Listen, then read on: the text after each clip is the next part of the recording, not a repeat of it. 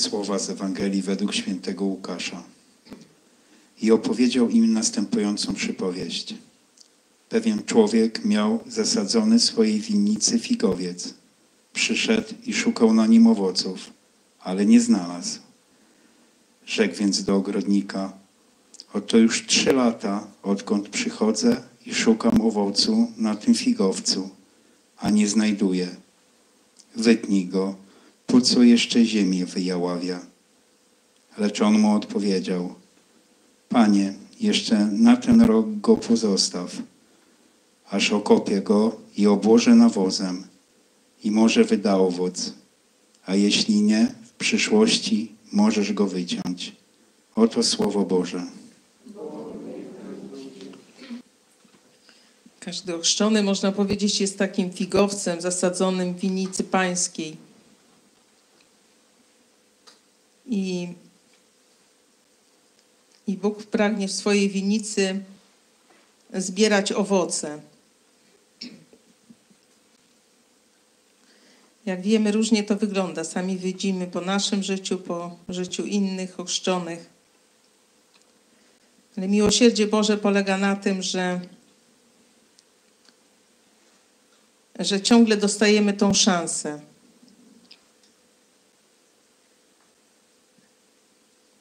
Dostajemy tą szansę na owocowanie, bo ogrodnik ciągle o nas dba. To jest taki znamienny szczegół. Pamiętamy, Jezus po zmartwychwstaniu ukazał się Marii Magdalenie y, jako ogrodnik. Tak ona go określiła, że tak pomyślała, że to jest ogrodnik. I rzeczywiście Jezus jest tym ogrodnikiem winnicy pańskiej, który nieustannie y, podejmuje różne wysiłki, aby to drzewo figowe zaczęło owocować. I tą taką podstawową pomoc mamy w postaci sakramentów. Ale jak wiemy, wiele osób porzuca sakramenty święte. Nie korzysta ani z sakramentu pojednania, ani z Eucharystii. Niektórzy przestają czcić nawet własne dzieci. To jest odrzucanie jakby tego nawozu, którym jesteśmy obkładani, po to, by ta jałowa gleba naszych serc została użyźniona.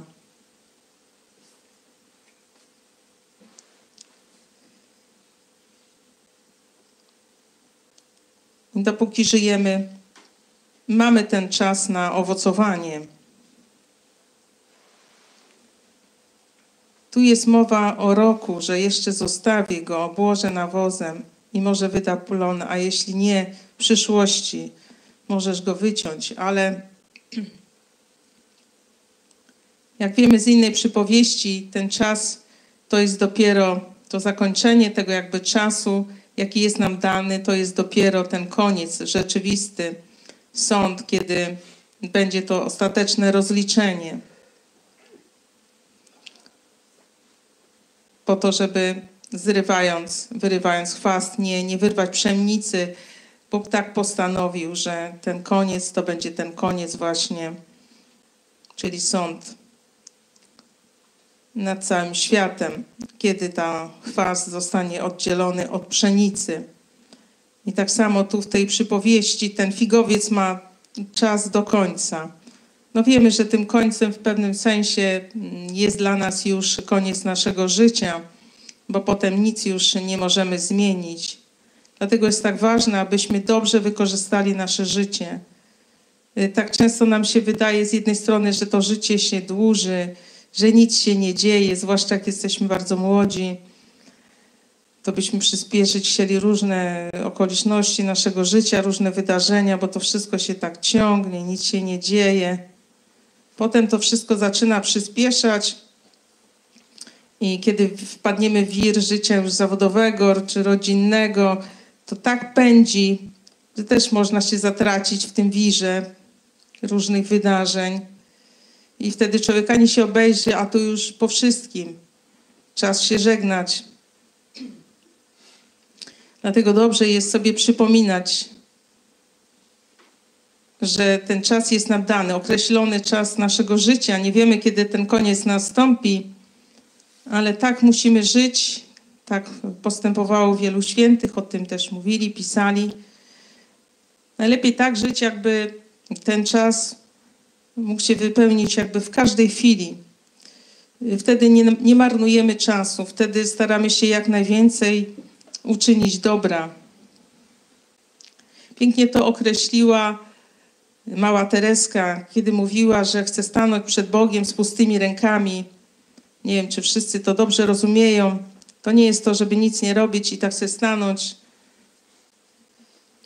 Tylko to jest to, że wszystko, co Pan Bóg składa w nasze ręce, od razu puszczać w obieg, rozdawać. Tak ona czyniła, tak czynili wszyscy święci.